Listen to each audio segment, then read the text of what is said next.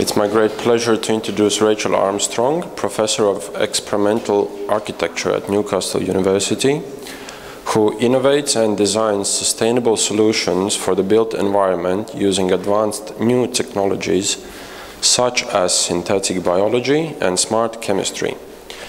Rachel's new science thesis and book, Vibrant Architecture, Matter as Co-Designer of Living Structures, explores prospects for transformations of matter into habitable structures, which prompts re-evaluation of how we think about sustainability in our homes and our cities. So it's my great pleasure to introduce Rachel.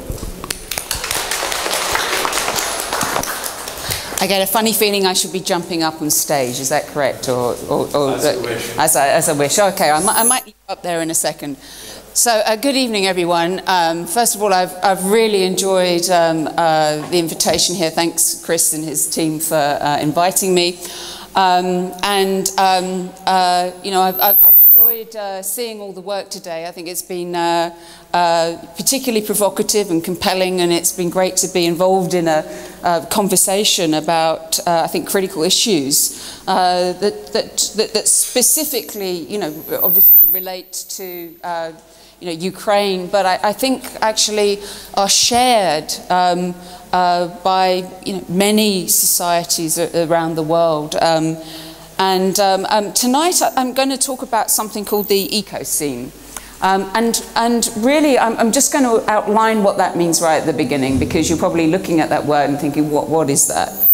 Um, the ecocene uh, sums up for me an ecological era, which I will um, uh, uh, define a little bit more specifically in a minute.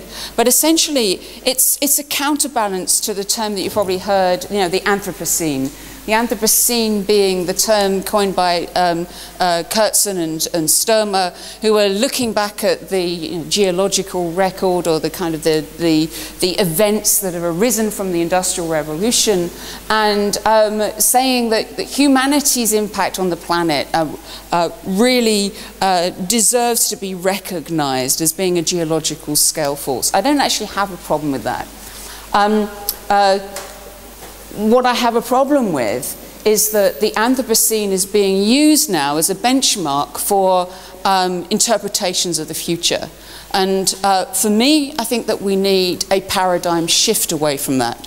So that I think that we should be using a different kind of term. It may be ecocene, it could be anything. Uh, uh, Donna Haraway uses the term Chthulucene, you know, the, the multiple ones. So, you know, there's, there's a mythos that we're engaged in, the kind of community, the kinds of uh, social groupings, the kinds of value systems that hold us together, I think needs a total reframing.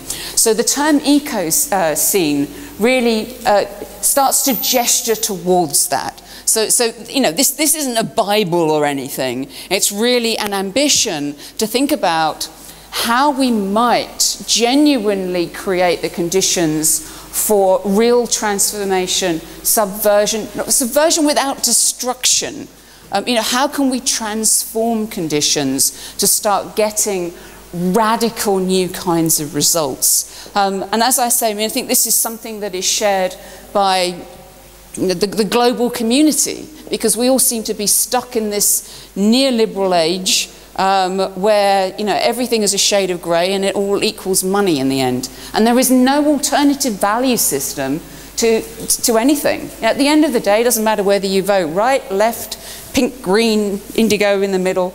Um, it, it, you know, someone's going to ask you how much does that cost. And the thing is that it's, it's rooted in a value system that is, that is um, based in uh, a, a culture of generating excesses and depletions. And that creates great inequalities. And there has to be another way of going about things. But that means that we need to start you know, thinking from first principles. That's hard work, it's subversive, people won't like you for it, they won't get what you're saying at all. You'll be you know, talking completely different language to everybody else in the room, but it's dirty work and you, you kind of got to do it if you, if you actually want to see um, something new happening. And also, it may not all be down to you. It may be a generation or two or five away.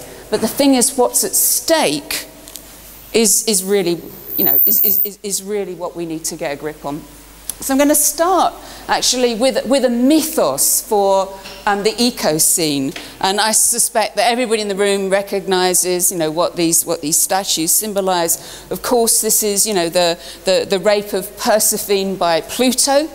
Um, and I think it's particularly apt because this is exactly what's at stake with the Anthropocene and the Ecocene or whatever you know, epoch comes afterwards. You know, that, that the kind of the forceful um, removal of natural resources over and above what is actually warranted and necessary um, constitutes a kind of deprivation for the planet, which we're all currently kind of endorsing in some way, just even by, you know, being here. And, and, and, and, and again, that's not to kind of start to, you know, point fingers on people and blame people. It's just, it's the condition in, in which we're immersed. So, how do we make a transition away from this status quo and move towards a new kind of uh, way of imagining our possibilities?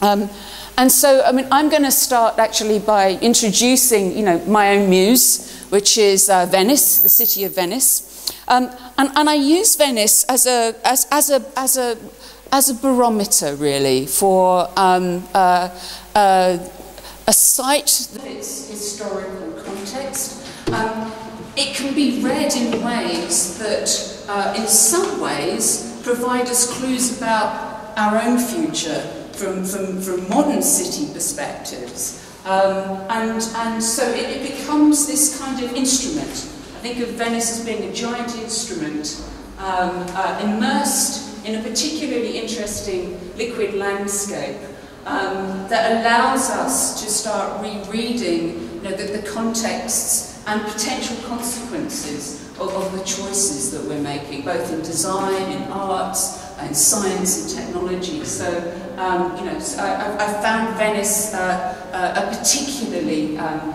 interesting place to kind of go and throw questions around in. Um, and actually responding to uh, you know, the, the, the, projects that I've seen this afternoon, um, um, I'm actually not going to start off with a theoretical spiel, I'm going to start off with a site in Venice. Let's call this um, the end of the world. Um, so this is the beach at the end of the world.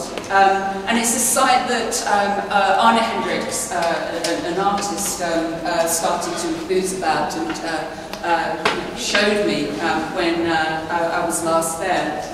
And what I love about this site is that it is incidental. Nobody designed this site. You know, as you know, Venice is uh, a series of amalgamated islands um, that you know, they were joined together by a series of bridges. Um, I believe there's something like 119 joined up islands um, that constitute the fabric of, of Venice. Um, and that um, uh, it's situated in, in the Po Delta region. So you've got a lot of flow coming down um, from, the, um, from, from, the land. Um, your flow also brings in agricultural runoff um, from the fertile soils of the, of the Po Delta. And, and, also it's, it's got a, a, set of modern factories uh, just on the mainland um, which, which literally just uh, throw stuff into the lagoon. Um, Venice itself has no formal sewage system, um, so all its effluent goes straight out into the sea. Um, and, and what's interesting at, at this site is um, you know, by a football stadium, and, and what you're looking at, what you see in the, in the, in the distance there, is actually the island for the dead, so that's San Michel. It's the square-shaped island cemetery built by Napoleon um, to house the excess dead um, from the city of Venice. So I, I, quite like this idea of, you know, just having shown you Hades or Pluto, um, that we're actually now kind of staring at a, at a graveyard um, that's, that's one of the most ornate and um, yeah, beautifully constructed um, cemeteries I think I've ever seen.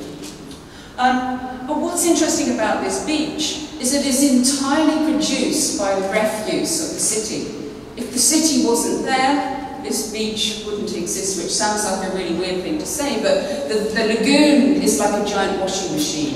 And if you look at the construction of this site, and there's a football pitch, um, you can see that um, it's got uh, um, you know, little, little patches of succession. So you know, the material's thrown down, um, and then you know, biology comes along to uh, claim the land. Um, I have no idea who owns this land. You can get to it by little um, stairs at, at, one end of the uh, of the um, uh, of, of, the beach. Um, it's made up. You can see how much plastics it's made up of. You know, so it gives you a sense of the raw materiality of, of, of the place.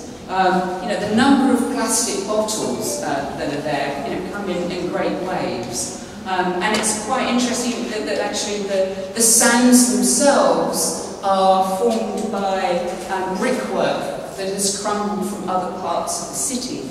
Um, and uh, you know, it constitutes all kinds of debris, some of, some of the most interesting of which are um, being reclaimed by natural systems. So here we've got oysters that have attached themselves to old Venetian brickwork and see those tube worms, those are sabellariid worms, and they produce uh, mineralized skeletons. They, they, thrive particularly well in, um, uh, let's call them uh, um, estuary um, uh, silts. Um, and they can reach architectural dimensions. You know, so you can get these, you know, literally hundreds. Um, so what's really interesting, this is not just a deconstruction by natural forces, but there's actually a synthesis going on. And whilst we are all busy taking our pictures of San Marco, um, uh, you know, there's, there's this other kind of material, spatial, field folding. You're going to hear me say that a number of times. Um, uh, uh, you know, kind of synthesis that's uh, being conducted through, through, through natural forces. So, so for me, this is, this is a site, um, and it certainly is for Arne, of the possibility of a new settlement, a new civilization to be grown on this tiny little part of Venice, this little embryonic bud. This is not the, uh, um, you know, the, the main squares or the fancy architectures. You know, this is a spontaneous site, and it makes you wonder, okay, well, you know, this is, this is, this is what paradise looks like. Uh, you know, how do we go about working with that? Um, so um, I'll just uh, start by talking about this um, idea of, of, of, the ecocene, um, which is thinking about a, a, global condition of the time. So um, this is not really about just the greening of things. It's not really about substituting one hegemony for another. Um, it's a response to, let's say, a, um, a, a, a, generation of uh, real social um, change and insights that have been brought about by, I would say, the internet. I would, I would, I would place, place the agency on, on, on the, on, on the kind of the innovation of the internet as to making this possible. Because the internet allowed us in a very practical way to think across disciplines, boundaries, where there were previous divides, we were able to erode them. We, we could be many people in many places at many times and many different things, and that was still a coherent kind of habitation. Before that, if you, if you told me when I was a kid that's what I'd been doing, I'd be thinking, crikey, I'd be going mad if I was you know, adopting all these different roles and trying to maintain a coherent identity. But, but we now do this without thinking. Um, and so I think that this, this, this, this kind of cultural condition for convergence, for synthesis, for um, a, a, meeting of many kinds of differences has been um, the, the, the, kind of founding events um, that underpin this idea of the ecocene or, or the ecological era. I use the word ecocene as a, as a, as a counterpoint to the Anthropocene. Um, and um, uh, so, so, so what, what, what interests me about this is that the task is really not about how we grow vegetable plots on top of a roof. Um, it's actually how we bring together many different competing paradigms, ways of thinking, skill sets, um, how we uh, become opportunistic about technological convergences, and how we figure out um, what all this stuff means at a time where you know there, there, there, is, there, there is great conflict. Because when we bring all these different competing interests and ways of doing things, um, you know, people's borders and boundaries um, uh, you know, get intruded upon. So how do we actually manage those kinds of conflicts? How do we actually produce different kinds of peace through which we can navigate some of these difficulties? I don't think difficulties are going to go away. I think that we need different approaches. I mean, in, in a very ecological sense, how do you build biodiversity to enrich a space? How do we not just become totalitarian and just say it is only corn that we are going to grow? And how how do we actually manage this idea of multiplicity and continual change in a landscape of flux and um, competing interests? For me, that's the task of the Ecocene or the ecological era. That's what it means to be ecological. It is not, you know, so, so the term ecological has been changed since, you know, Ernst Haeckel, you know, invented it in, in, in, the 19th century. It used to mean um, relationships between animal communities. Then came Vladimir Vernadsky and Lovelock. They started to talk about biogeospheres and invoke environment. And then we had, um, you know, the kind of urbanists that coming along in the early 90s kind of saying, well, cities are ecospheres and, and, and ecologies. You know, that, that uh, a, a, political body is part of a, an ecological society. So I'm not saying that the idea of ecology is, is a fixed one. What I'm saying is that the ecological era is one that kind of deals with this idea of change, multiplicity, and of massive um, scale challenges that we have no tools to get a handle on. Not, not, not in a complete way, maybe in partial ways. We're only getting partial pictures of a lot of things, and we're needing to make new value, new sense out of that. Until we do that, we're going to be stuck in an Anthropocene view of things, where the world is deterministic. It can be broken down into little objects and completely controlled down to an atomic scale. I know, I know, I don't think that that's the world that, that, that we're in, inhabiting. And, and what it's bringing about as well is this, this kind of condition of um, a technological synthesis. This is also Michael Hansmeyer's work, um, where you know, he's, uh, he's, he's attributed um, to uh, you know, pioneering the digital Gothic, you know, a, a kind of uh, uh ornate parametricism um, that uh, is now being printed in sandstone using these incredible giant printers. Um, and what we're trying to do with um, uh, uh, Michael, my colleague, um, uh, Martin, uh, uh, Martyn Dade-Robertson, is you know, trying to introduce bacteria um, that, that also um, produce kinds of deposits in, in this material, so that, that, we don't just have a static stone structure, but, a, but a, let's say a, a Gothic um, uh, formation that continues to grow after it's produced. Um, but these, these are all experiments. We, we don't know, you know, we don't know the answers of these things. We can't say if, um, you know, X amount of bacteria of Y species are added to Z amount of funny concrete, um, that, you know, we're going to get a particular kind of result. We don't know that. We have to actually run the experiment. Um, and I think that you know design has created uh, you know so that this is this is um, the embodiment of um, uh, technological convergence. Um, and, and, and I, I, actually want to uh, read uh, uh, Bruce Sterling's description of this uh, particular um, technology, just because I think that Sterling's a cultural genius. Um, uh, but also because I think it kind of sums up the, the, the weird materiality of, of, of, of the reality that we're inhabiting right now. And um, you know, so, so this is called cyberplasm. Um, and it's come out of a, a, whole bunch of sand pits that were um, uh, provoked around 2003 by a paper that was written by Roco and Bainbridge, which was talking about the NBIC convergence. So nano, bio, informational and cognitive convergence. And these were um, uh, American academics who were looking to, let's say, provoke um, uh, a new age of prosperity for um, the NSA, or um, so the, you know, the, the, the American um, you know, Science Foundation. And they said, if you put together these, these, these, these radically emerging technologies, um, that they will produce two things. One, they'll produce new kinds of economies, and the second thing, um, they will create new kinds of social order. Um, in that order, Europe came along and go, oh, that's a good idea. We'll actually put society first and we'll put economics second.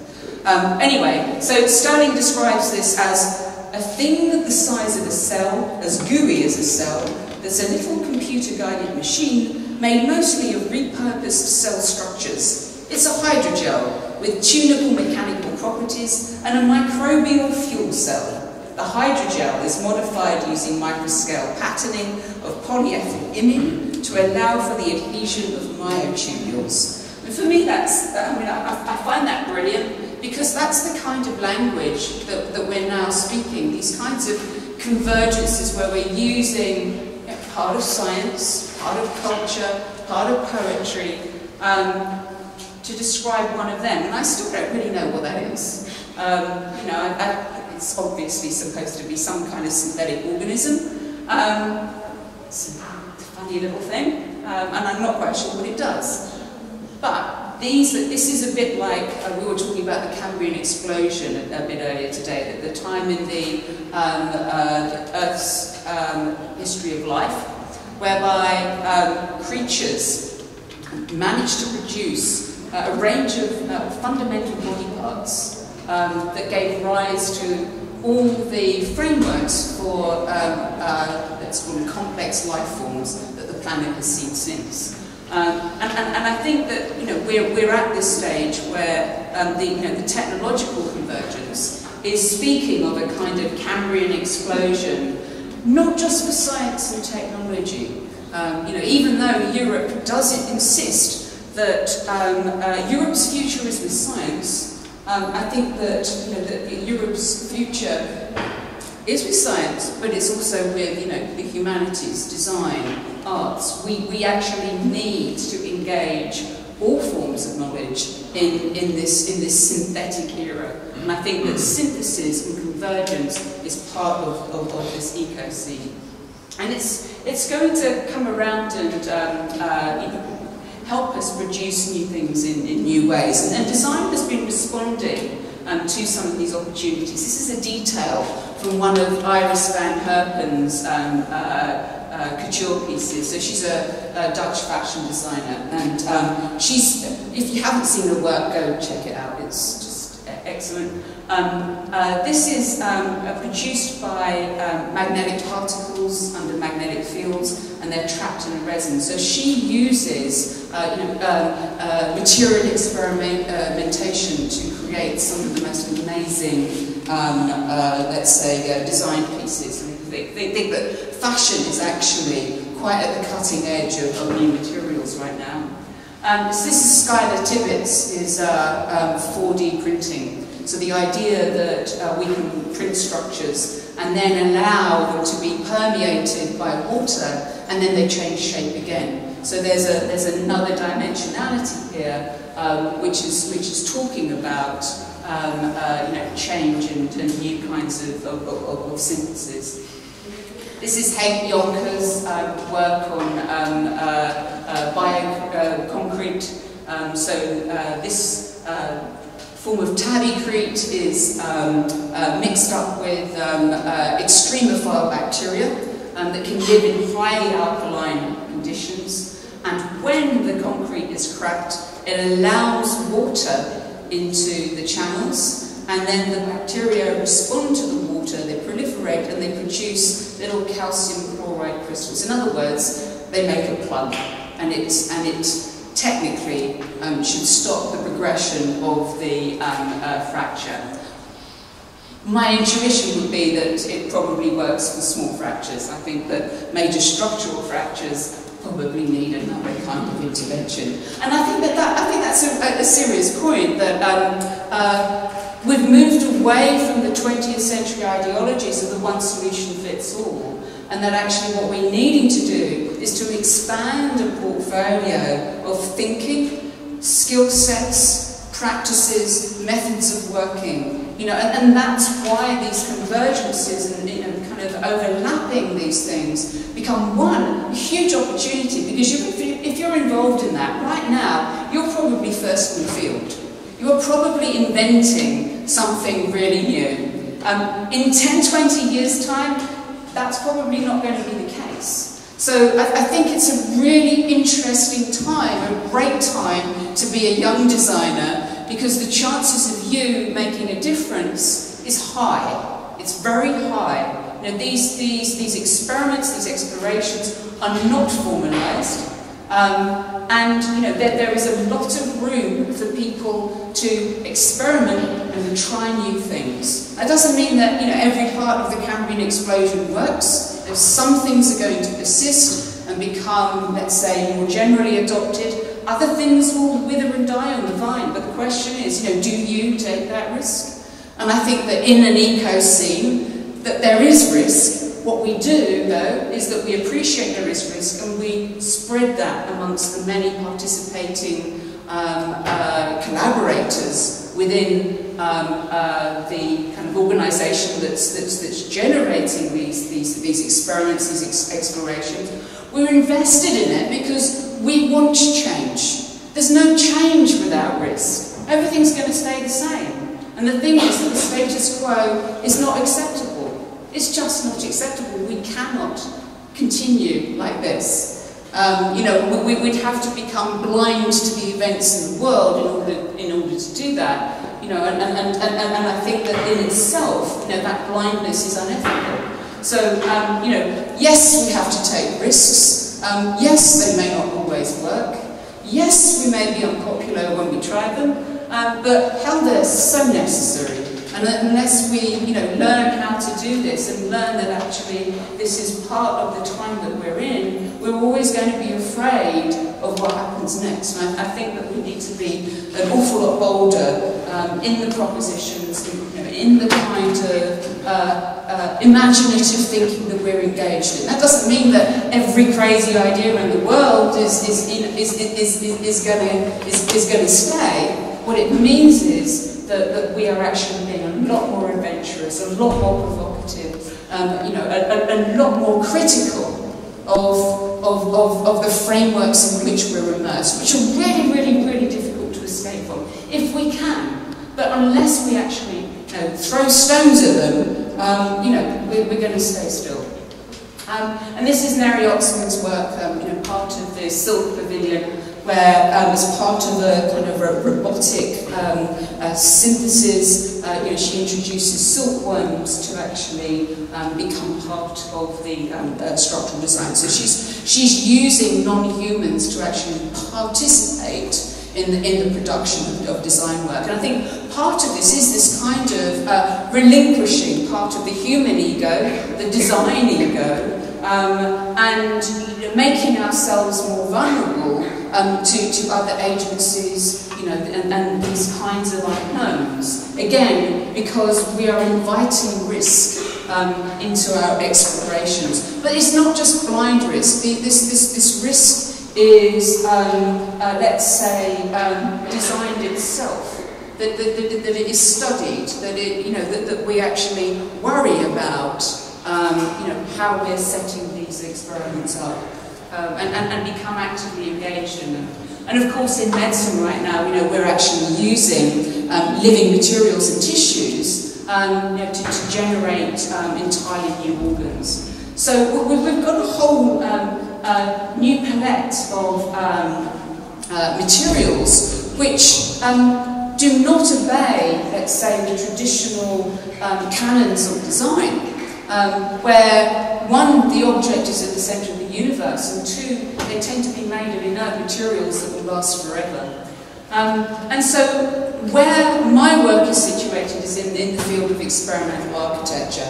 Um, and the term was in, um, you know, first uh, invented by um, Peter Cook um, in uh, 1970 when he was critiquing the uh, avant-garde and modernism, trying to think about um, ways of uh, subverting um, the design of cities, which he felt was becoming over-functionalized and over-instrumentalized, Um, and in, in their place, they were um, you know, engaging community, being more playful, introducing surrealist uh, paradigms. That's interesting. Turning off the light.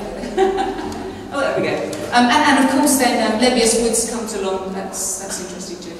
Um, so uh, Woods comes along and actually adopts the term experimental architecture as being a, a, a real experiment that's conducted through draftsmanship. And what he's trying to do is to um, uh, kind of open up uh, new spaces for exploration by architecture into you know, natural disasters like earthquakes um, or you know, man-made disasters like war.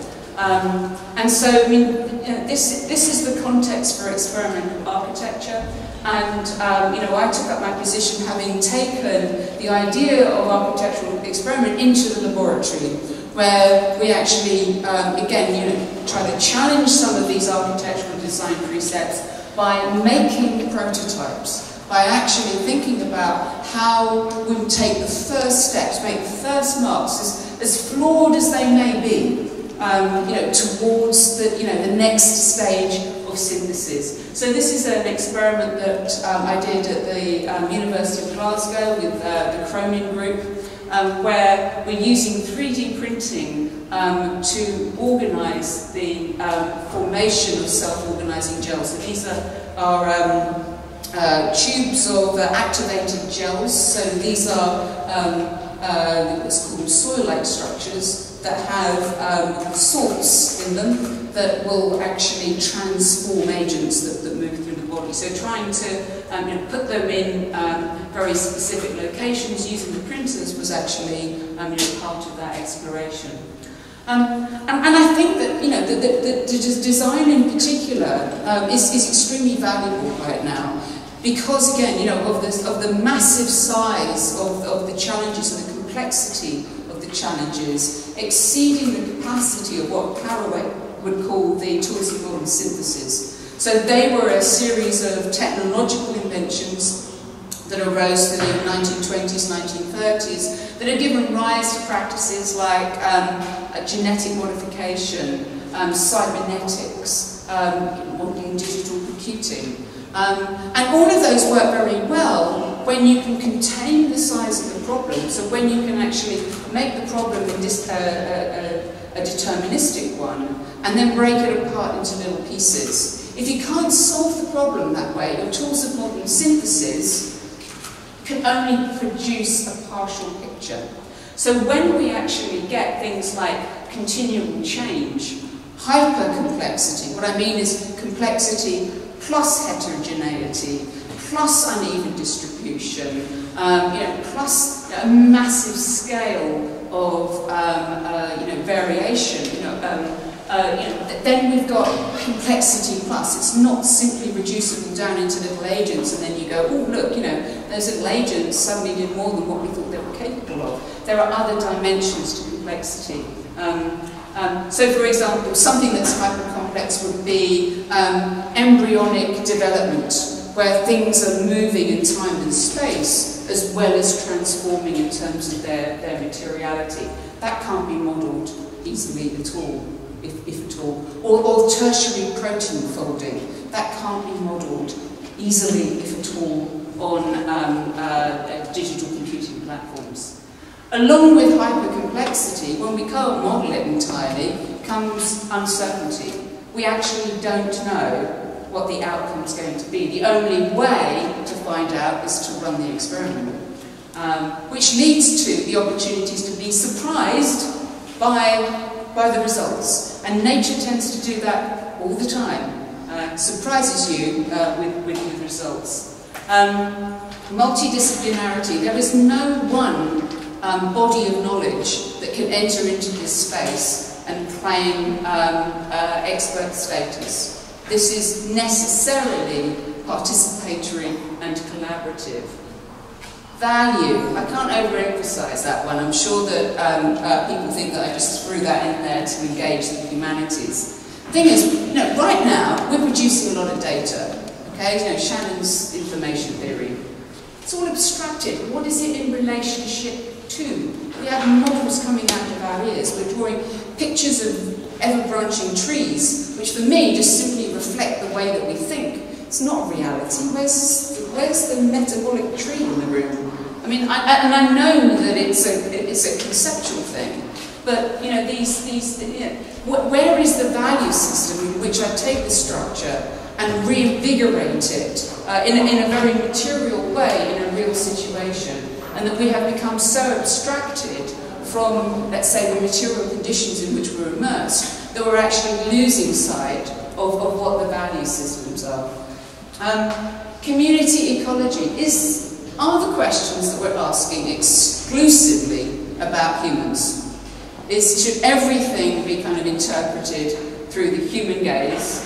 Or are there other agencies that we should be um, uh, considering when, when we're thinking about the kind of work that we're doing?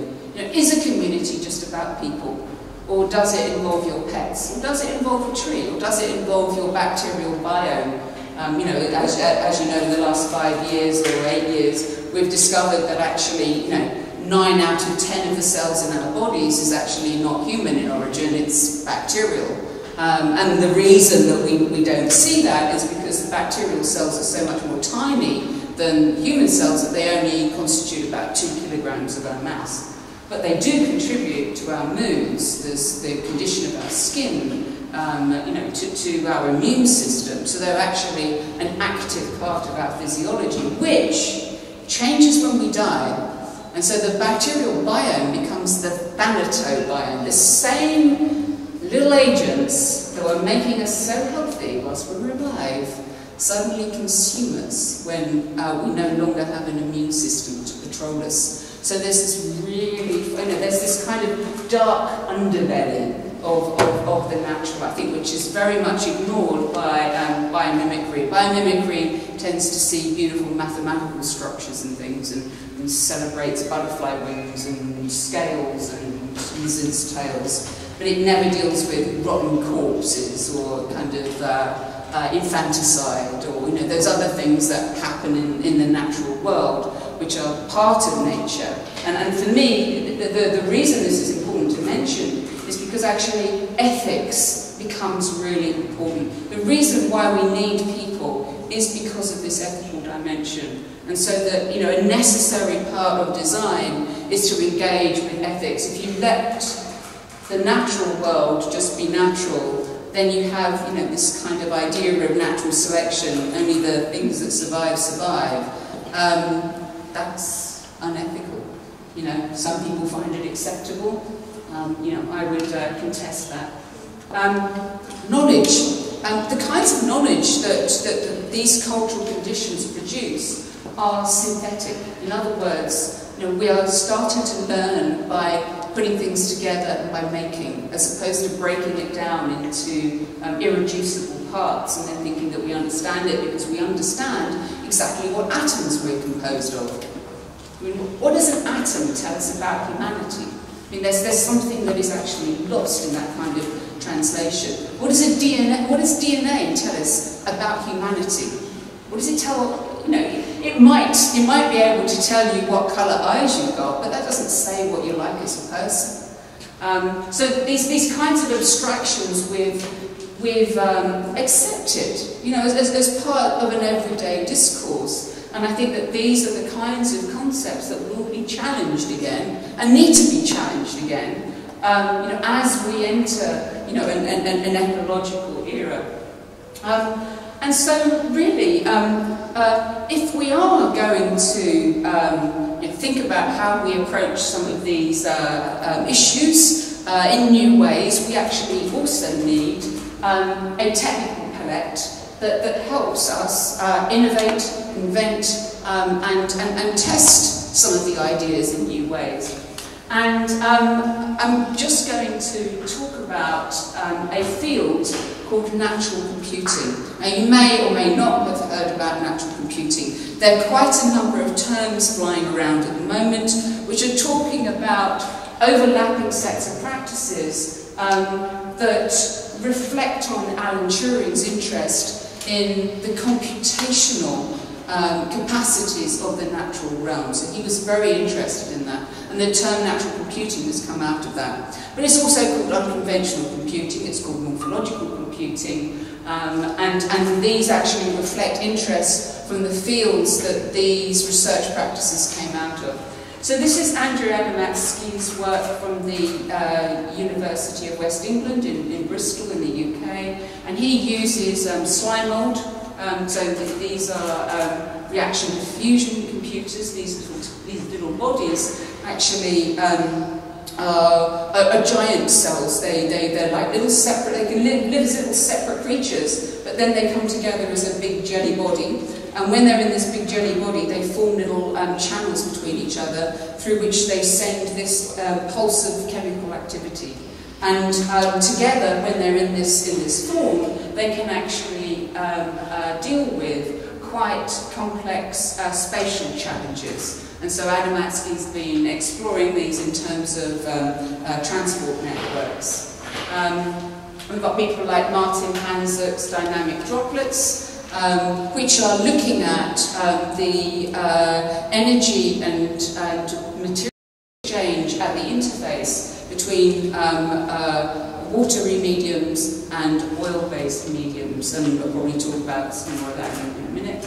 Um, and then people like Ben de Lacy Costello's work on chemical computing. This is an old experiment I will talk about a little bit later. This is the Liesegang ring experiment where you use the activated gel and salts through it, and you again you get these uh, waves of diffusion and precipitation that move through the gel. Um, and you can actually physically um, uh, produce, um, let's call them uh, altered landscapes. Um, you know, so you can either see them visually, but actually they will also roll spatially, and um, hopefully we'll be able to see some of those later. So all of this con constitutes um, a, a uh, range of practices that, that, that, can be described you know, through um, digital modelling. The ones that really interest me are the ones that are actually physical, you know, where we uh, work with the language of uh, physics and chemistry um, as the basis for making. Um, and so that we're actually using new kinds of hardware and software, if I can use that analogy.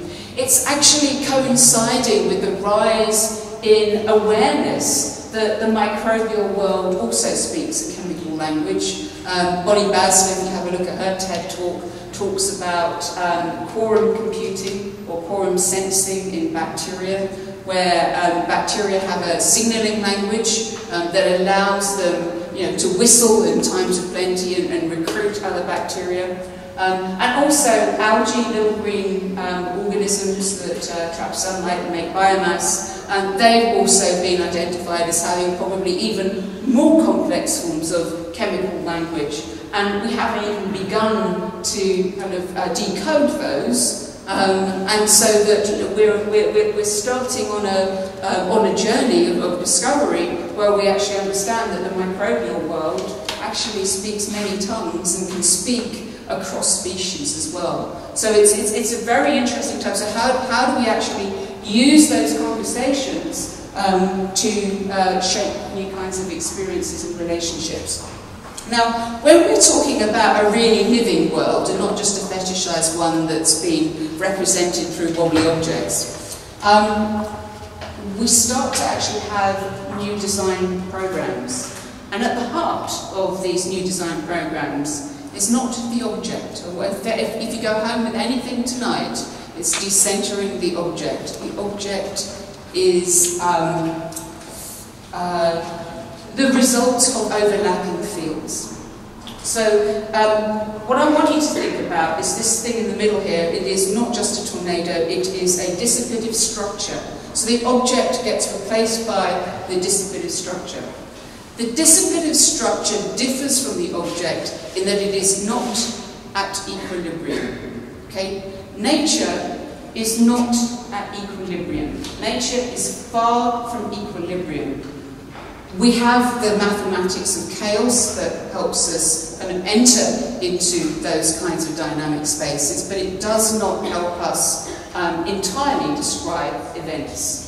When we design with living things, we are not designing with objects, we are designing with dissipative structures, which were first described by Ilya Prigogine um, uh, in the 1970s. He got his Nobel Prize for Chemistry in 1977 for coming up with the idea. The trouble is that they are paradoxical systems. They are both objects, so you can actually see the structure of something that looks recognizably tornado-like. Okay? But it's also a process. It is caused by the massive flow of matter and energy where two fields meet, where hot air and cold air and often water are actually meeting. Um, but it has a, has a particular set of characteristics that, that, that transcend the capabilities of, of, of objects. It has its own agency.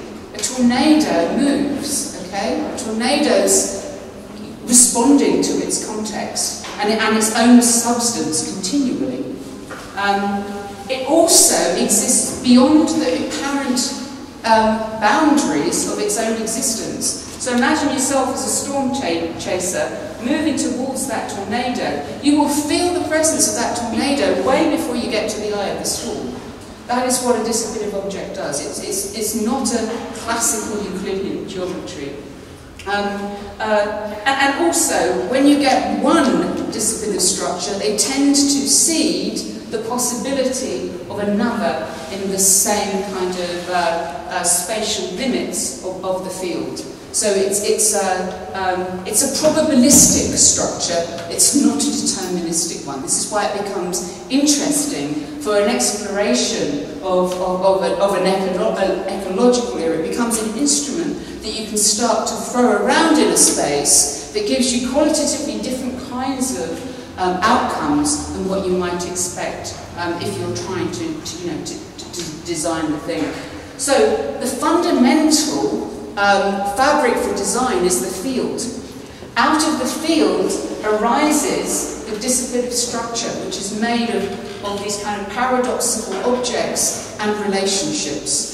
So what we're doing, so say for example, uh, Venice as a, as, as a city is actually an instrument that produces fields. It folds and influences the um, emergence of those fields um, you know, by uh, you know, changing the way that light hits water, or the way that sound moves through a space, or how matter is redistributed through the city to produce a budding embryolo embryological um, uh, uh, beach at one end of, of, of, of the city.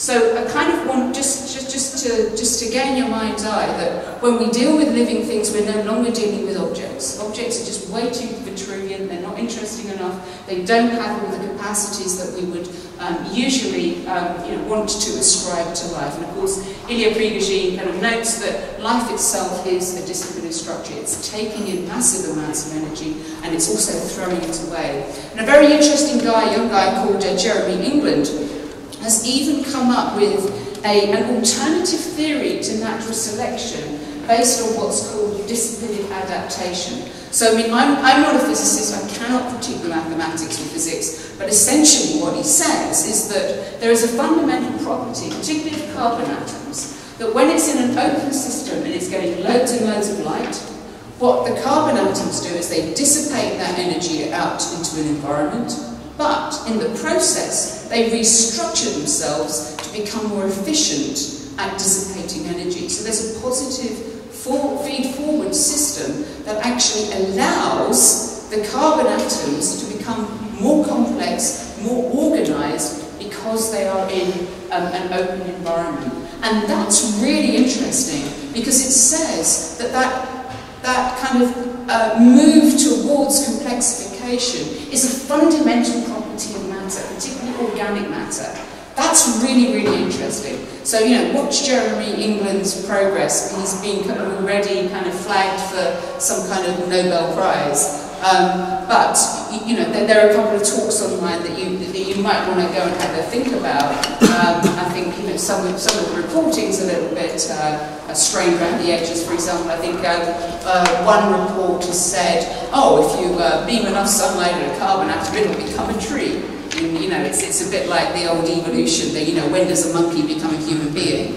It's like, it's not the same thing really, is it? Um, so I mean, anyway, you know, so so so so the, this idea of um, dissipative structure is coming along with a, with, a, with a whole new set of ideas about the organisation and performance of materiality. So we're having a new engagement with material realm, providing we don't imagine it in equilibrium or relative equilibrium.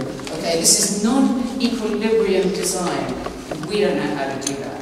What we try to do is when we have non-equilibrium systems is, is to kind of uh, freeze it into a series of stills and then treat those um, time slices as, as, as being objects.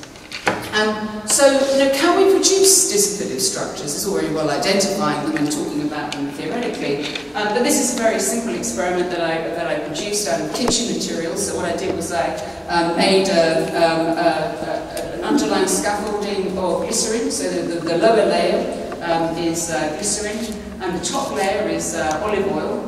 Um, and what I did was I took um, uh, um, uh, food colouring droplets and filled them with salt. Now the idea is that um, glycerin loves water, it will hang on to 10 molecules of water, um, and olive oil hates water, doesn't want to know. So if we drop the, uh, the, the, food droplets into this interface, so again we've built a field, the glycerin and olive oil is a field, drop our, um, let's call it uh, the, the, the, disturbance, the, um, uh, the, the, thing that they're going to fight over, uh, into, into the middle, and what we see is the glycerin eventually winning the battle for the water. And those little trails that you see, it's really the, the salt showing you the fate of the water that's been sucked up by the glycerin. So it's a very transient dissipative structure that's produced.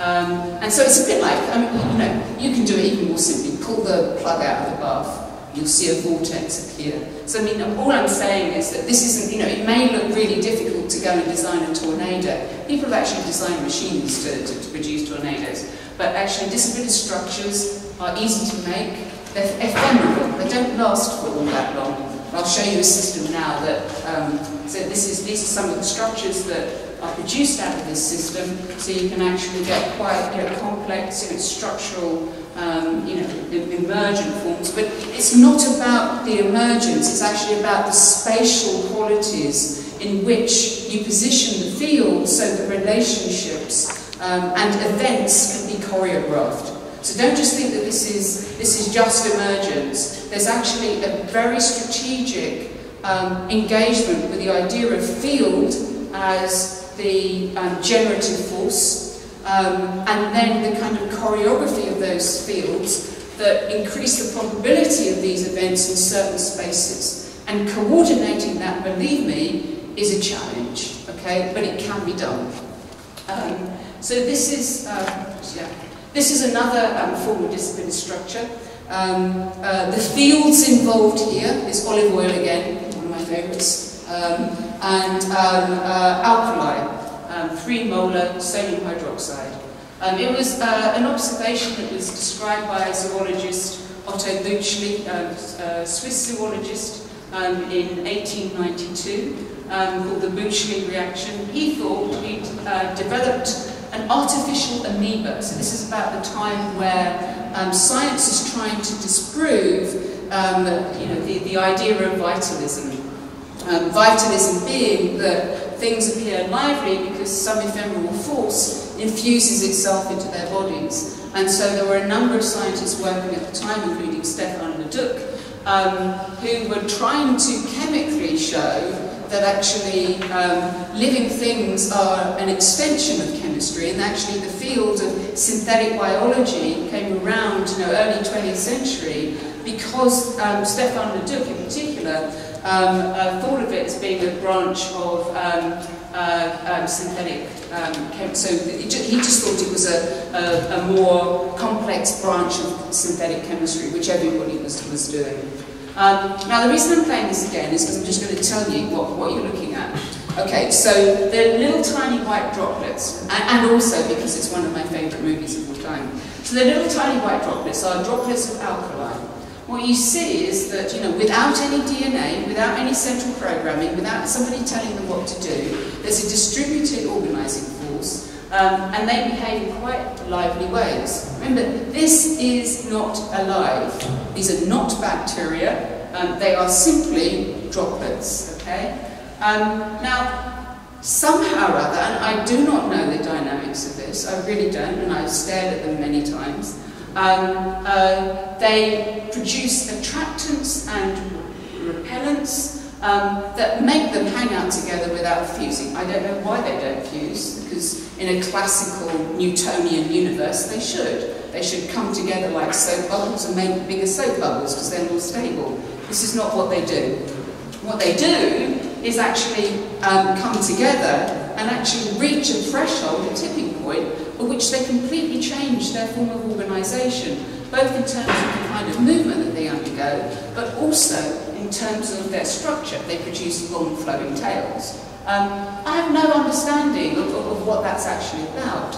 And, you know, we, we know it's a complex phenomenon, but actually, you know, there's an awful lot more in that. Uh, you know, and, and, these are the kinds of um, uh, results that we get when we start to think of design with fields and looking at the performativity of dissipative structures within those um, kinds of fields. Now, because you get multiple kinds of, of results, um, you know, the, the ontology and epistemology of these systems is very different to, let's say, the classical ways of thinking, which you know, it's, it's like a tree, you know, tree of life, you know, zoology trees, uh, you know, modern science kind of positions it as a, as a web-connected tree. Um, but what, we, what we tried to do here, this is a drawing that was done by Simona uh, Ferracina, um, and I was asking, you know, how, how could we start to um, uh, articulate probability around an event which happens at the little cross in the middle there. The big spiral represents um, uh, you know, the spiral of complexity, trying to show that um, a diversity of events is more likely towards the origin. Um, the dotted line is, is, is, is, is progress of time in space. Um, and as you can see, you know, this was based on 300 experiments um, with the Bütschli system. A whole variety of different outcomes are possible, depending on the alignment of the stars, whether somebody slams the door, what mood I'm in. I mean, should, the, the, the kind of the variables are unfathomable. Um, so literally the way that you start to navigate this space, I guess is a bit like, more like an artisan practice. The more you work with it, the more intuitively you can actually navigate the possibilities. You start to understand how the oil and the um, uh, uh, sodium hydroxide are performing today.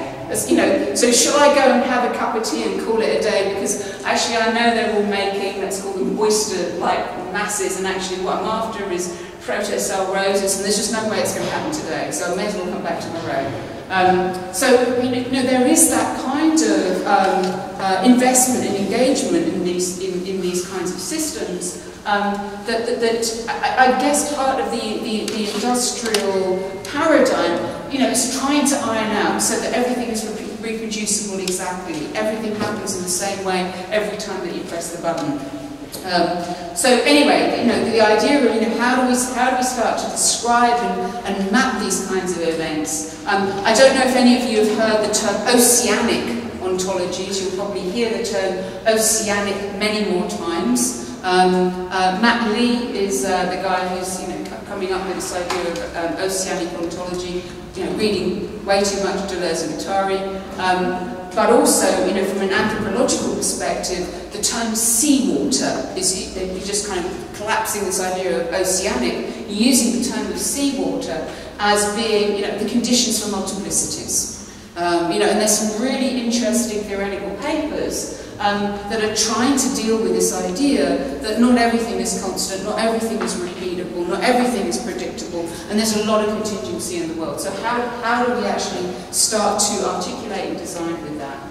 Um, so kind of moving on, okay, so we can produce distributed structures, we realise that they give us multiple outcomes, um, can we do something useful with this? Or are, are, they just kind of like that you know, Tasmanian devil out of Bugs Bunny and just kind of tear off and are beyond our control? Well, this was one of the first installations I did with Philip Beesley in 2010 for the Venice Architecture Biennale. And what I designed with these um, uh, little uh, organs in, in, the middle, the yellow dot in the middle um, is, a, uh, is a chemical organ um, which uh, responds to ambient carbon dioxide levels and produces tiny microscopic uh, sculptures um, uh, within this you know, huge um, cybernetic systems, about 19 meters by 3 meters by 4 meters. Um, and, and it's, and it's uh, you know, responsive to the presence of people, you know, it, it's got a sensory neural net. So we're looking at technological convergence here. If we, we can't literally scale up every droplet, but we can actually converge it with other technologies if we're going to think about positioning these again. It, there's a spatial quality here. I can't fill the whole room up with, with olive oil and sodium hydroxide, but I can um, strategically position these, these little organs so that they are actually integrated within a larger system. Um, and so that's one of, one of the approaches to dealing with scale. So here you can see those, those tiny little sculptures, which are, you know, really like, um, you know, archives of, of, carbon dioxide traces. I think of it as being like inside a giant nose. Uh, these are the hairs of the sinuses, um, and these are the kind of the smart snot globules. Um, because, you know, very much like your own sensory system, you know, they can actually, um, you know, when the carbon dioxide is dissolved, they actually show that they've tasted or smelled it by, by changing colour and also by, by creating this um, uh, material. So here's another example. I, have created quite a number of, of, different kinds of globules, but um, these are the ones that I've used in this uh, uh, particular slide. So this is a, design or a, a, kind of an image of uh, future Venice uh, which was again an attempt to further scale up um, the idea of working with these uh, distributed structures. Um, and this is the idea of taking the fabric of Venice and literally conferring it with um, the capacity to respond to environmental change by giving it lifelike qualities. And the way that um, it was proposed um, was to design um, uh, uh, oil droplets with specific metabolism. Um, so uh, Martin Hansen developed a metabolism that responded to light, so it could move away from the light and towards the darkened foundations. Of course, the buildings stand on wood piles, you know, which is part of the, you know, the technological foundations of Venice. Um, and there, when it comes to rest, it then kicks in with a second metabolism which accretes minerals from the lagoon, because remember there's a lot of pollution going into the lagoon and that accretes around the, the, the, the, droplet interface and produces the basis for an artificial you know, scaffolding and limestone reef. What was interesting about you know, going to the city to actually explore some of these ideas, we did an experiment with Red Bull where we, we weren't allowed to chuck stuff into the uh, uh, lagoon, uh, but we, we had these uh, tanks and uh, you know, with the students from uh, the University of Venice, we could see just how quickly these you know, little mineralized proto-pearls would, would, would be produced. But when we actually you know, get to the waterways, we can actually see that the city itself is producing these kinds of accretions, except they're not gardened. Okay? These are actually stromatolites or uh, thrombolites. So these are accretions of materials that are already accumulated by um, algae, shellfish, and uh, bacteria, you know, on, on a step in, in, in, the city there. Um, so the idea then is that actually we have a conversation through these droplets, you know, whereby we can provide more resources in a more localized way so that we start to, again, co-construct structures around the city. Now, why would we want to produce this artificial limestone reef? Again, this is another photo that's got way too movement, much movement in it. But um, you know, why, why, would we want to do such a thing? Well, because you know, when the wood piles get exposed to air, um, you know, they're fine whilst they're in salt water, but when they get exposed to air, they start to rot. And now with the great big liners that are going through um, Venice, it's sucking out so much water from under the foundations that it's speeding up the rotting of the um, wood piles. So, can we actually um, create a smart concrete that as the water level drops actually seals that part of the wood. And this is exactly what the, the, the, the are proposing, that we could actually seal these, these, these tidal areas. You could never do that manually with concrete. Now, this is a kind of um, environmentally responsive, highly contextualized solution you know, for, for a very specific set of conditions. And what's interesting is that if Venice decides to dry out instead of drown, you'll just get further drop, you know, the, the calculation, the natural computation changes spontaneously related to the conditions that it's in. So the computation becomes one, um, not of building things up, but actually of sealing um, the, the interface with the, with. Now this is Future Venice too. This is um, uh, the installation that I'm working with now in um, uh, um, Venice. Um, and um, what this one's proposing is, again, it's going back to the idea of um, the production of soils. And why am I obsessed with that? Okay, so if, if we're going to think of a city that is a counterpoint or or a kind of a different kind of system to the industrial city. So, you know, so the, let's call it the, the modern city, 1624, Francis Bacon, New Atlantis. In the centre of New Atlantis is the House of Solomon, which is the laboratory through which scientific experiments are conducted, through which all the kind of recognisable features of the modern city pretty much can be seen. So we have been doing the same thing in cities for 500 years. Okay? So everything that we think is new probably isn't. So 500 years we've been thinking about cities in the same way. Um, so, so, so how might we think about cities afresh? Well, what, what I did was I went back to Stephen Jay Gould's um, experiment, you know, the kind of the thought experiment on this, um, you know, replaying the tape of life.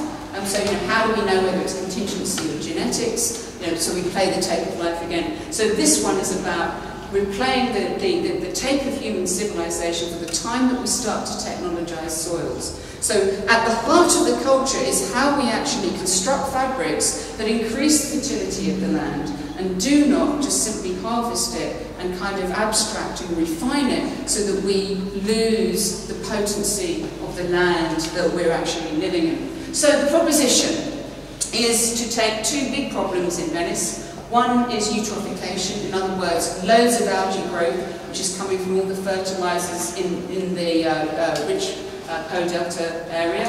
Um, and then um, see if those um, uh, algae can bind to the microplastics that are in the lagoon. Now, Venice Lagoon is a big problem with plastics. It has 2 million tourists every year, 30,000 plastic bottles thrown into the water. Um, these are then weathered and fragmented by the elements, um, and they don't just come up in big lumps, but they actually um, uh, fragment into tiny little specks. They get taken up into the food chain, they're eaten by fish, you know, they're kind of absorbed by, you know, the, the, the, the entire web of life, and, and they're problematic because of that.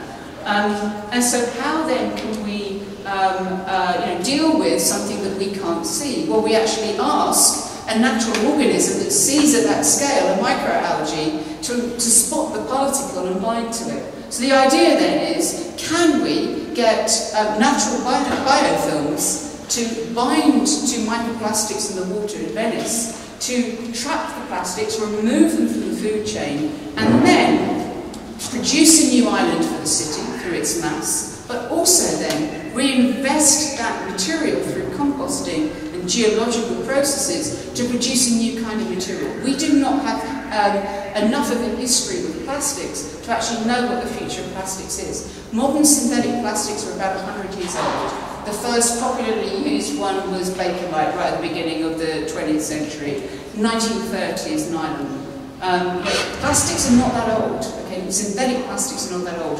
Plastics as a material is just simply polymers. You know, cow horn, uh, silk, all of those are, are plastics. Um, so we don't know what happens when, when plastics are buried for long periods back into the earth. And so one of the things that this um, proposes is to think about what happens if plastics are buried with um, algae um, and we know that algae and, and tiny shellfish um, um, can produce special kinds of earth that we use as raw materials for things. So things like chalk. Chalk is produced by the skeletons of, of, of, tiny sea creatures that are buried back into the earth, decomposed, transformed by geological forces. There's something called the diatomaceous earths, which are formed by diatoms, which are heavy um, uh, algae, so they've got heavy bodies because they contain silicon, um, and uh, um, uh, so when they get sunk into the earth, they create this kind of um, slippery abrasive, and, and, you'll be using it in bathroom cleaners. You know, that, that stuff that kind of slides around to, to, to create slight abrasions and make things shiny, that's a kind of earth. and that's being produced by tiny silicon, skeletons. So the idea is, that can we use these biofilms together with the plastics, take the plastics out of the water, create an island, and then invest in, in, in a future whereby we may potentially be creating new kinds of resources. We don't know what the outcome of that is, um, you know, but is it worth running the experiment? You know, well, personally, I, I, I think it's worth a go. So here we are. How do we go about it? Um, so um, uh, the experiment is set up over eight tanks.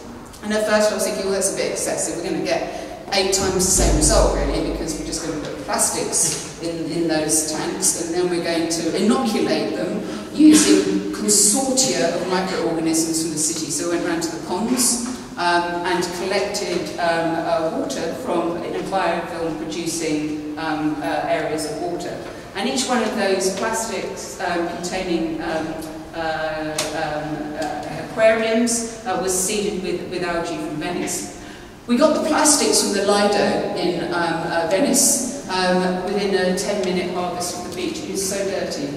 It is horribly dirty and the lumps of papier-mâché toilet paper are yet to be appreciated and described by somebody who's them. Um, but I mean, again, you know, this is the kind of the raw materiality of the system. You know that there is this this this kind of uh, um, synthesis. You know that the that the water itself, the beach itself, is is producing these kinds of agglomerations. Anyway, so so the the, the experiment was set up. And four designers were then um, invited to uh, uh, you know, produce work uh, this is Ecologics, um, beautiful briccole here. These are organic briccole. And they've got little algae brains at the, the, the, the bottom of those uh, uh, uh, holders there. They've got long tentacles that feed into the water. These are more speculative. Notion, what we've got is an algae brain that um, senses the, the, the mineral conditions of the water um, and then responds to those by positional changes of the briccole. The briccole, of course, are the, um, sign, the, the posts that, that guide um, uh, uh, the, the traffic through the waterways. And so these are kind of, you know, Dalek-like um, algae uh, navigatory posts. Um, this is Mike Perry's uh, collection of found plastics. So this is a future history of plastics. As I was saying, we don't really know what the future history of plastics is. Um, so Mike Perry is an artist who um, takes beautiful um, uh, environmental photos. But on his journey, he actually picked up plastic objects that have been completely transformed by natural systems. So we've got a new class of materials called plastiglomerates. I didn't know that they existed.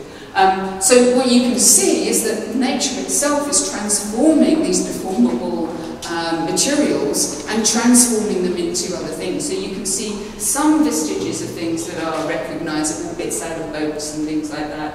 But actually, things have been very mutilated by natural systems. So again, it's giving us an insight into what the future history of sinking biofilms and microplastics might look like um, should we you know, continue with the experiment. So these are kinds of barometers and, and, and indicators. This is my favourite piece of work, I must say, um, Studio Swine. Um, this is Sea Chair. Um, and what I love about this is that um, you can see it online. It was a, a Kickstarter project. And they proposed to go out with a, a, a fishing trawler. Um, and whilst the fishermen put in the catch, they put in the plastics. They sort the plastics into different colours, cut them up, sintered them down at 132 degrees C, used found objects to then mould um, a, a, chair, it's not a stool, it's a chair, um, and um, uh, by the time that the fishing boat returns back to port, um, there is an artisan object produced. And so, um, you know, it's, it's not just simply, you know, getting rid of things, it's actually how do we respond to changing materialities, you know, how do we actually um, combine and compose new ways of seeing and working so that we attribute new values to, to, to some of these um, uh, um, conditions. Um, again, that's uh, Ecologics work. Uh, this is uh, Julian Melchiori. Um, so he's, he's used a different kind of plastic. He's used a natural plastic silk in which he's, um, uh, let's say, implanted um, tiny chloroplasts, which are got from spinach. Um, this is proposing a new canopy for Venice, which is, uh, goes, let's say, goes beyond the functionality of the leaf. Um, so essentially it's got little solar panels at the top and shape memory metals. So during the daylight the, the leaves are spread open um, and they provide shading for the square. Um, and during the night time, the leaves close, form um, light shades around the solar lamps and provide lighting for the square. So it's leaves that can produce lights, like lampshades at night. Um, but again, you know, it's, it's about kind of responding to some of the um, uh, conditions for design. Um, these are a set of protocells that I was uh, designing to bring minerals into this kind of plastinating um, environment. Um, and so these are these are some of the tanks. So these are um, uh, you know the, the eight um, uh, kind of let's call them bioreactors in which um, a new relationship between biofilms and uh, plastics is, is anticipated. Well, you know, unlike my expectations, actually only one of the um, uh, bioreactors produced the kind of uh, um, uh, results that I was expecting. This is an unexpected result. Polystyrene separates the algae and the bacteria um, uh, because it provides such a lovely medium, like a soil, because it's sucking up water, it's providing minerals, and the algae go, woohoo, we can, we can actually enjoy being in the water without actually being in the water. And so it became like a soil scaffolding for the algae, and therefore we got a whole bunch of uh, lamb's tails where the bacteria and algae had actually been dragged apart by, by the actual plastic itself, its actual structure. Um, this one's a successful one. You can see the spider web of uh, um, uh, uh, biofilms um, forming around the plastic as, a, as, as an adhesive. Um, they're still very feathery and, and, quite fragile, but that was, a, that was a good result. It was the one, one out of eight, ain't bad. And there are some more details of, of, of the um, uh, system. One tank grew mosquito larvae. I was just, I, I, had to kind of like have a double take on that. I mean, that's what I mean by nature creating surprises. I should have guessed in Venice you've got a tank of water, mosquitoes, I didn't really think about it, but there they are.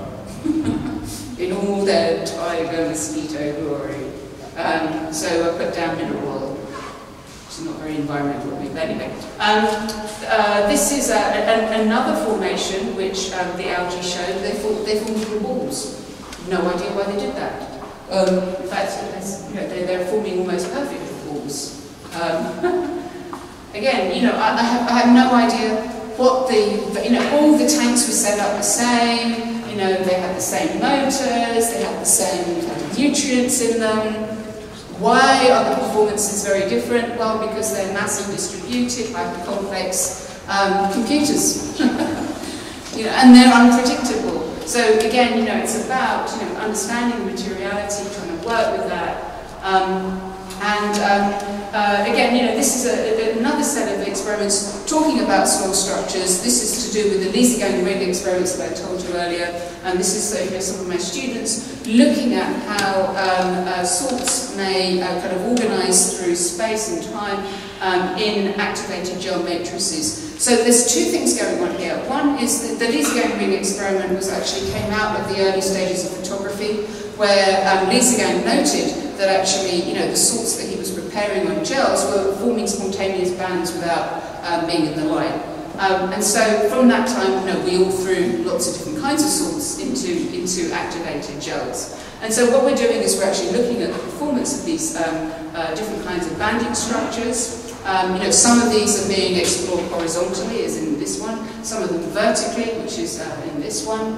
Um, but, but essentially, they also have this embryological quality because the gels are like big backbones of, of fibre. Okay, so you've got these long carbohydrate backbones. They've all got little um, uh, handles on them. And when you put a cation, a divalent cation, in other words, it's got two charges on it. So it's calcium, um, barium, um, uh, magnesium. I mean, all, all these, you know, divalent cations. When you put them through a salt like that, it will ripple the surface because it's pulling these long carbohydrate chains together.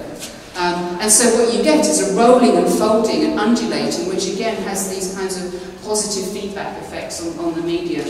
Um, and you know, some of them have quite spectacular uh, effects. I'm going to quickly talk about aesthetics and natural computing. um, because I guess that one of the things that has been interesting for me is, you know, how do, how do I start to convey um, a discourse about the, the appearance of things when we're prototyping? How do we, you know, I've, I've obviously used models to try to represent ideas, um, but I really genuinely believe that there are kind of new aesthetic um, uh, possibilities coming out of the field of natural computing. And what I've done here is I've looked at the uh, old dark art of scrying. So this is uh, probably a film that you know, Constantine. Um, and um, uh, Keanu Reeves is going to help.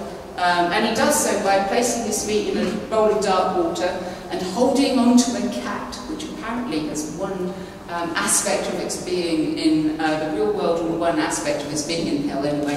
Um, uh, uh, but, but scrying kind of goes back a long way to, let's call it Nostradamus. Um, and there was actually a very uh, popular um, practice of where young ladies would, would, would look in uh, reflective pools um, to try to see the face of, of their future husbands. I think they'd probably just seen a load of women in that one, which would be quite interesting.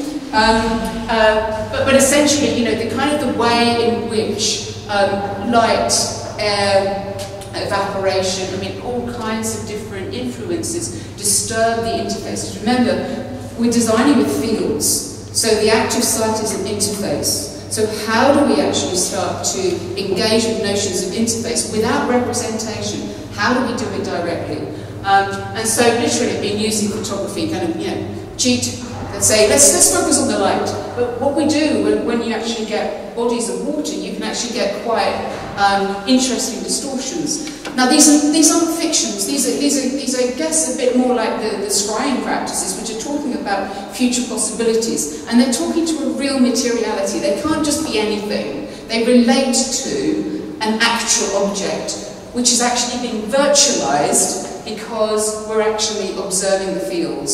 So this is actually the Spanish flag in Malaga port, which has been um, observed um, through uh, disturbances in the water, uh, through the wind, and there's actually a feather in the, in, in the you know, and, and, and the materiality of the site. So all these distortions together create a new image of possibility. If I tell you that that's the Spanish flag now, um, kind of all gets a little bit interesting. Um, uh, this is Venice, this is, uh, you know, along um, St. Mark's. Now to see the city almost, you know, through the eyes of Calvino, you know, what do these invisible cities start to look like?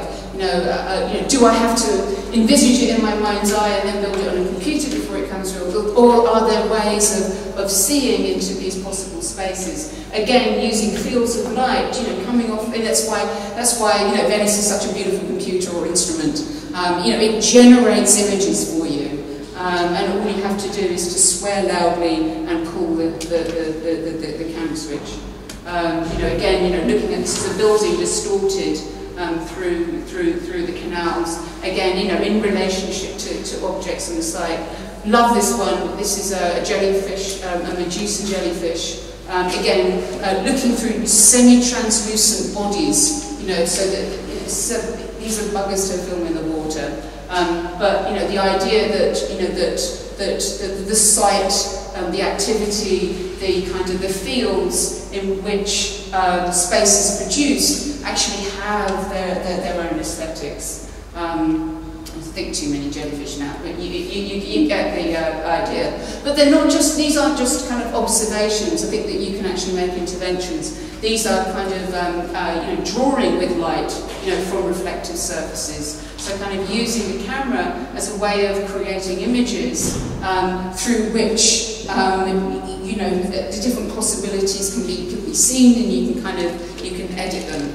Um, and so where's, where's all this going? Okay, so, you know, okay, we've got um, uh, designing with fields, production of structures, um, elemental infrastructures which make these possible. So in order for this to actually happen in a space like this, we actually need to change the kind of environment that we're in. It needs to introduce light and earth and air and water for it to be viable. So you know, rather than buildings as machines, you know, buildings actually become a kind of living body requiring all those um, uh, infrastructures for life that, that we share. Um, and so, you know, this is a, uh, you know, a kind of a technology here, the microchip with uh, the uh, slime mold. Um, it was introduced into a robot.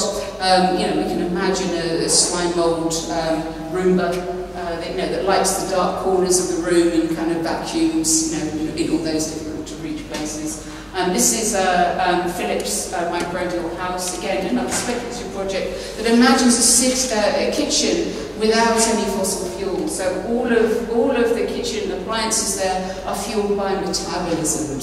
So that has a different quality of impact. And again, we're, we're allowing things to breathe, we're allowing soils to be composted. You know, cities become sites of compost production rather than, you know, sites where we, we take all that stuff away.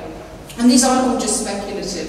You know, this is um, Arup's um, uh, BIQ house, an intelligent building house, um, which was opened in 2014 in November to the public.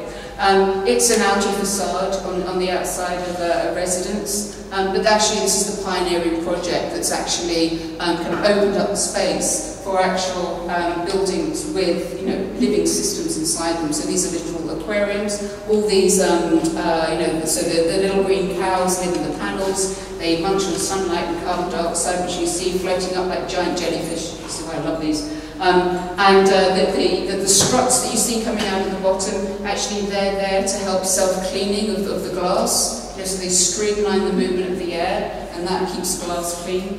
Um, and then this is the last slide, which is really kind of looking at, you know, what is the potential for, for generating these complex synthetic fabrics. I'm calling them soils right now because that's the term that kind of best encapsulates the, the, the, the designed processes that they could potentially contain. But we don't have to be naturalistic about these. You know, we could actually be quite inventive, creative, think about technological convergence, think about surprising opportunities within them.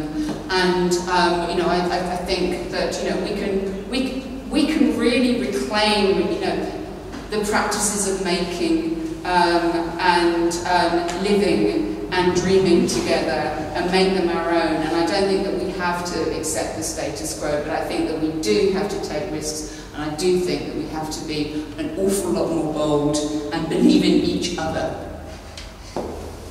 Okay, I'm going to stop there because I'm sure I've gone on for a very long time.